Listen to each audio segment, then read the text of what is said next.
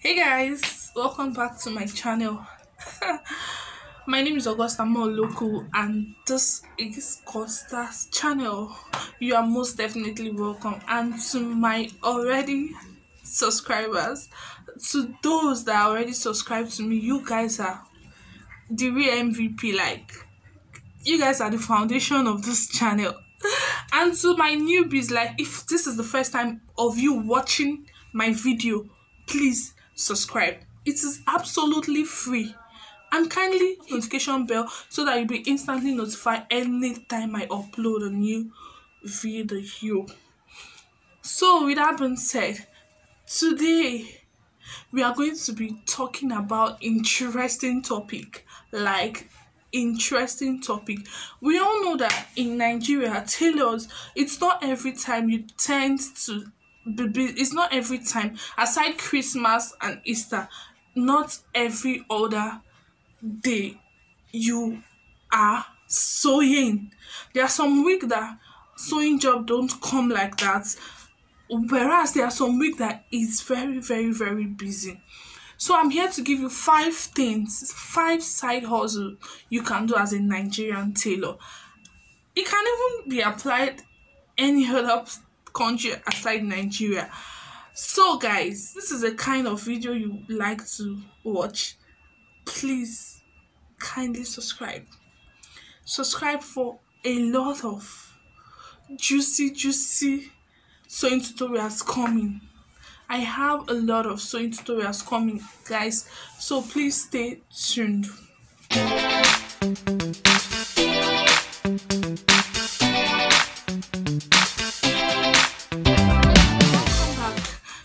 Like I earlier said, we are going to be talking about five side hustles you're going to be doing as a Nigerian tailor. First of all, weaving, weaving, like weaving, weaving, industrial weaving, white weaving, what kind, any kind of weaving, weaving. If you are a tailor and eh, sorry, if you are a tailor and you have spare money please invest in a weaving machine. Because not all tailor shop has a weaving machine. Like not all tailor shop have a weaving, weaving machine. Some people after sewing they take it to the market or to a weaving store to weave. So as a tailor if you have money please invest in a weaving machine. And this this weaving machine side hustle is going to be more profitable if it is in an if your store is in an area that is saturated by tailors it's going to be very very profitable for you. So weaving is something you should consider. And one thing about weaving is not as if somebody will bring weaving bring clothes for you to come and weave and they will not pay money no. It's not like sewing that they will tell you we will see later or i'll transfer later no. Weaving is something you do and you get your money instantly. So weaving is something you should look out for to invest. That's that for that number two point is selling of fabric. Guys like selling of you can sell something like this silk material. Sell it display it in a in a corner of your shop. When customers some customers might just come for pickup and they will just easily fall in love with the fabric.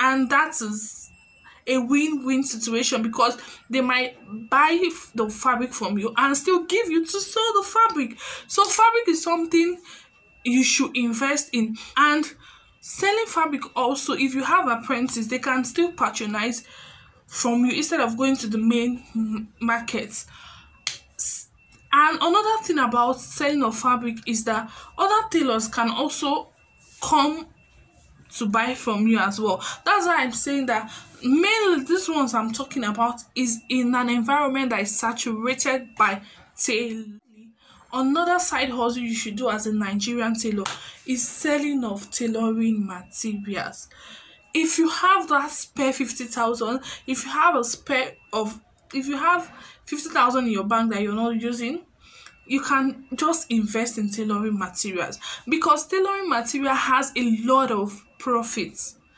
You might be looking somehow but it really has a lot of profit. So if you can invest in tailoring material it will do you good. That for our number three selling of tailoring material? Then number four is the one that many people started doing recently. Many tailors in nigeria they started doing this one recently.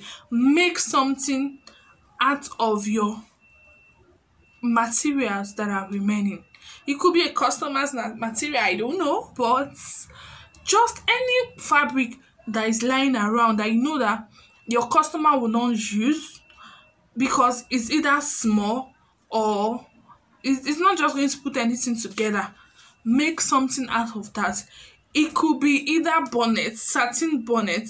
It could be either satin bonnet headband turban just make something. That material like you're throwing a, like you're throwing out every time you're throwing out your money. Just know that you're throwing away your money. From today if you invest in this thing i'm telling you you will see that you've wasted thousands of money. You've wasted a lot of money just by throwing remaining fabrics. So something you should definitely try to invest on make something out of the remaining fabric you have. These turbans this they are being sold for 700 800 even 1000 one five depending. It goes on and on. So you can just start making something. Turban recently even face masks all tailor shops during this corona period all tailor shops they were making um nose masks and the rest. So don't just throw all those your scrap fabrics use them for something. You'll be glad i told you so. Number four is one that is not so new. It's trending on instagram now. Make ready to wear dresses. Like everybody knows that on instagram that's what is killing now. Ready to wear fabrics is killing. Like just go to the market buy buy all this and one thing about ready to wear it does not have to be complicated. They are very very free. Very very free to make. Very easy breezy. Very easy. All those things they sell on instagram you see shift dresses on instagram. They are very very simple to make. And with three years you can have you can just make one ready to wear. So getting six years of ankara you're making two and it's being sold for 5000 4000 four five on instagram. So if you can make it make it and display in your shop and people will still come to buy because what people need now is what they will just wear and they are good to go. Nobody needs time for doing this one button this one. Everybody does not have time. Everybody wants something that is very very easy. Ready to wear dress. You can start from 10 10 pieces i mean you can start from 10 make it in different sizes size 10 12 depending on your client. Because you or you because you know your target you know your target clients. If you're making for mommies that are big if you're making for plus size you know you're going for 16 size 16 size 18 you just know the people you are targeting. You make their sizes. Even when somebody brings a a clothes for you to make. You they can easily just walk through your shop walk around your shop and they will just they might just see. Who knows? They might see what they want. That's that. They might just see what they want and that's it. So i i already said five.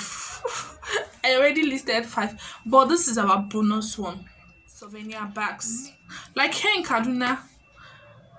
I'm not sure there is a wedding you attend.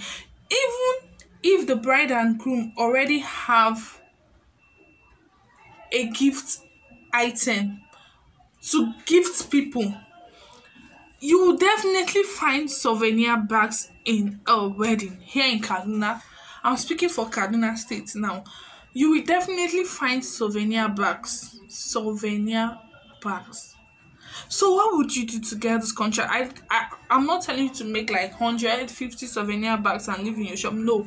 Just at the side of your shop you make you display even if it is 10 different type and hang it somewhere around your shop so that whenever your customer come they will know that you are into making souvenir bags as well. So whenever they want souvenir bags or when they even hear that somebody is about to get married and maybe the person started asking where can i make so thing um so so so souvenir bag or i want to make souvenir bag? They, they can easily refer you because they have seen what you have done. Don't just say it with your mouth. Please auntie get it displayed in your shop so that people will definitely come and check you out and that is that for this video. I hope you learned something. I hope i hope i hope you learned something. So that 30,000 naira 50,000 naira lying in your account you can just invest it. Because the truth is that not all time you get tailoring job. Not all time. Especially for this corona period now. It is not all time that you get it's not all just like it's not all time you get this um you you get clients to come give you fabric to make for them. So you just have to and in nigeria one stream of income is no longer enough. Like nigeria is getting tough day by day. So you need to just put your hand into some certain things and just invest. We don't just know you don't know how well it will do for you unless you have tried.